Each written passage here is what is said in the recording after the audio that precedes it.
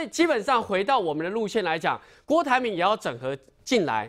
不包括我们的白色力量说了，在大联盟都要整合进来嘛？不然说真的，现在的民调沙卡都、斯卡都有哪一份民调是可以赢的吗？嗯，那郭董事长过机混赢嘛？啊，郭董事长你安尼参算，你安尼即马十二趴、十三趴，嗯嘛是足歹看呀！你参算嘛，大家嘛不会调嘛，所以基本上这是我觉得连胜文副主席他反映基层的焦虑，他反映了两个第两个部分，第一个，你四年前有按照流程走完的程序有没有翻桌？还是翻桌。嗯，那这一次你要讲说五一七前面没有照你的程序走，事实上从三月开始也充分告诉你，县长、立委跟立委参选人跟民调都是照整个流程走，也给你三十天的冲刺期了嘛。嗯那现在又要翻桌，那你对于国民党的诚信在哪里？第一个，第二个，你五一七在侯市长宣布参选的时候，你在脸书写说我要全力支持侯市长，嗯，请问这篇脸书现在要隐藏起来吗？还是要去改文字吗？不可能嘛！这篇还在，还在嘛？所以基本上这两个诚信的问题是郭董事长他无可回避的责任。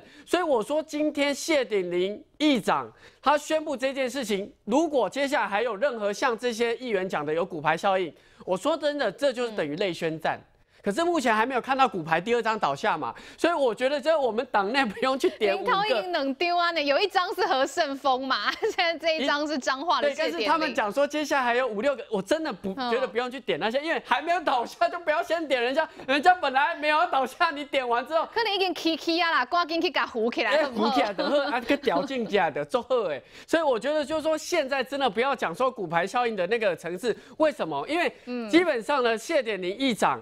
他目前就是觉得，就是说他未来要做一些事情比较自在嘛，他也没有，我们也没有开罚他嘛，对，他讲把卡把就。可是如果因为这样子，你要去针对未来的某一些从政同志开闸的话。